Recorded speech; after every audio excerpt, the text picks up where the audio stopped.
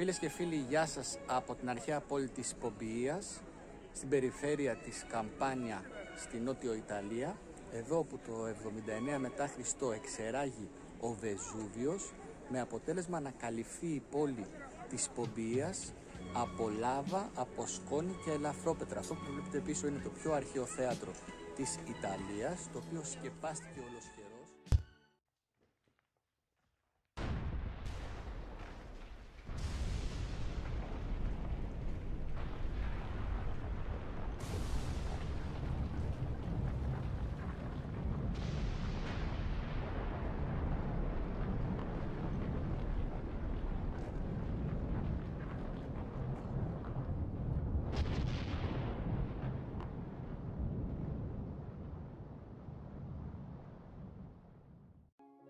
Από τους 20.000 κατοίκους της Πομπιίας φρικτό θάνατο βρήκαν οι 12.000 από αυτούς είτε κάηκαν από την λάβα είτε πνίγηκαν από τη στάχτη και ορισμένοι βέβαια στην προσπάθειά τους να δαραπετεύσουν από την ε, πόλη πνίγηκαν ε, στην ε, θάλασσα εδώ στον κόλπο της Νάπολης.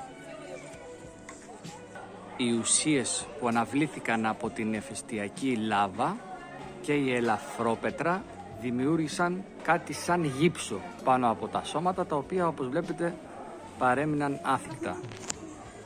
Πολλοί ήταν εκείνοι που αποδέχτηκαν τη μοίρα τους και πέθαναν σε αυτή τη στάση.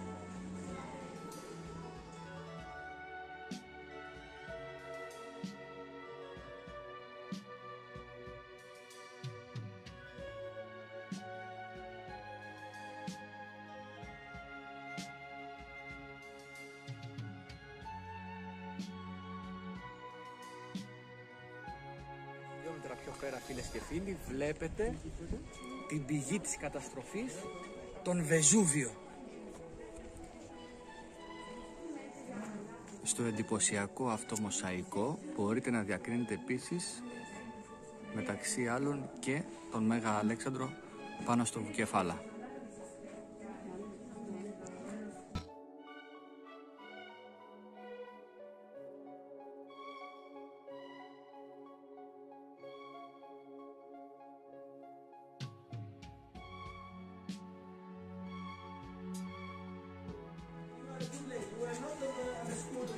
Εδώ κάνανε και μασαζάκι εδώ, μασαζάκι και, και άλλες υπηρεσίες εκεί, άμα έδινες κάτι παραπάνω.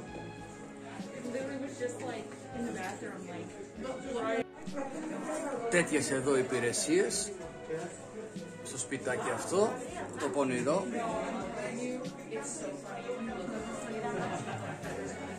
Εδώ το κρεβατάκι και είχαμε και τέτοια στην πομπία.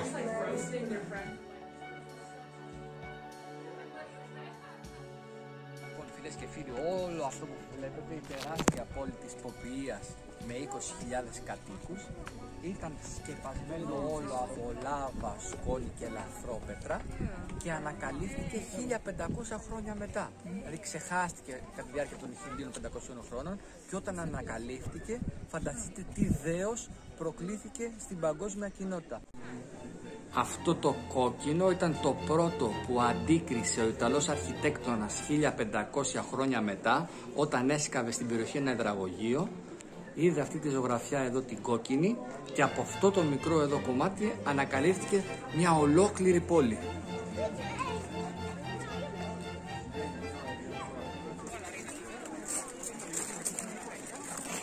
Εδώ φίλες και φίλοι όπου έρχονταν στα χέρια με τα λιοντάρια οι κάτοικοι της Πομπίας, του αμφιθέατρου. Στην Ιταλία επιτρέπουν τα σκυλιά ακόμα και στους αρχαιολογικούς χώρους.